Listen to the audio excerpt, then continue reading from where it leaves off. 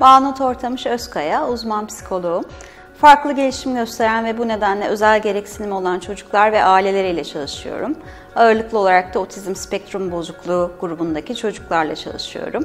Ne iş yapıyorum? Ee, merkezimize farklı gereksinimlerle başvurmuş çocuklara ilk önce ayrıntılı bir değerlendirme yapıyorum. Bunun içinde genel gözlemlerin yanı sıra standart değerlendirme araçlarını uygulamak yer alıyor.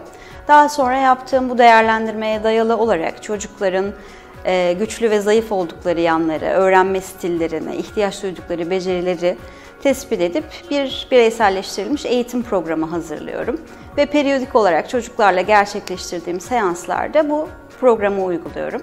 E, ayrıca düzenli aralıklarla ailelerle görüşüyorum. Onlara yaptığımız çalışmalarla ilgili geri bildirim veriyorum.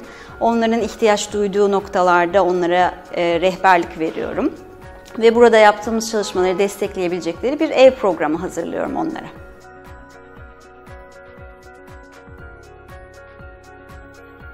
Bence en keyifli yanı çocuklarla sürekli iç içe olmak. Ee, çünkü onların dünyaları biz yetişkinlerin e, dünyalarına göre kesinlikle daha eğlenceli, daha naif ve bir o kadar da zengin. Dolayısıyla her gün çocukların dünyasına girmek, onların büyüdüğünü görmek, bu büyüme yolculuklarında onlara eşlik etmek gerçekten çok keyifli ve insanı e, zinde tutuyor.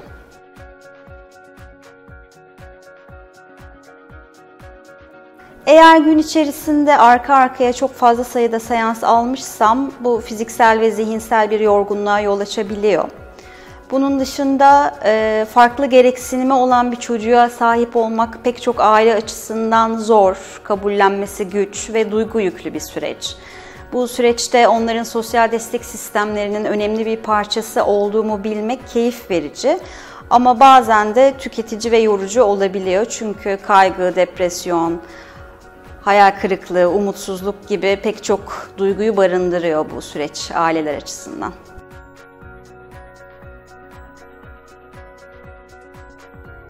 Ben Ege Üniversitesi Psikoloji Bölümü mezunuyum. Lisansım e, Ege Üniversitesi'nden. Daha sonra da İstanbul Üniversitesi'nde Adli Tıp Enstitüsü'nde yüksek lisansımı tamamladım.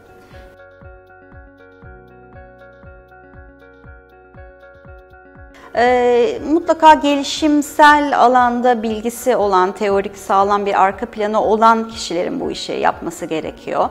E, psikologların yanı sıra psikolojik danışmanlar, özel eğitim uzmanları, çocuk gelişimi uzmanları da bu işi yapabilir. E, nasıl özellikler gerekiyor? İçgörüsü yüksek, e, farkındalığı yüksek, insanlara dair farkındalığı yüksek, iletişimi güçlü, çocukları seven, çocuklarla iletişimi iyi olan kişiler bu mesleği daha iyi yerine getirebilirler.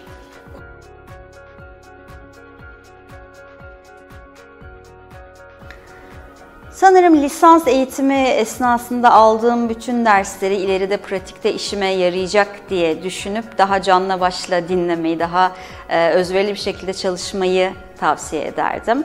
Bunun dışında meslek hayatıma başlar başlamaz süpervizyon almayı tavsiye ederdim. E, son olarak da yüksek lisans yaparken seçtiğim bölümü ve e, çalışacağım alanı uluslararası geçerliliği var mı yok mu diye dikkatlice araştırıp seçerdim.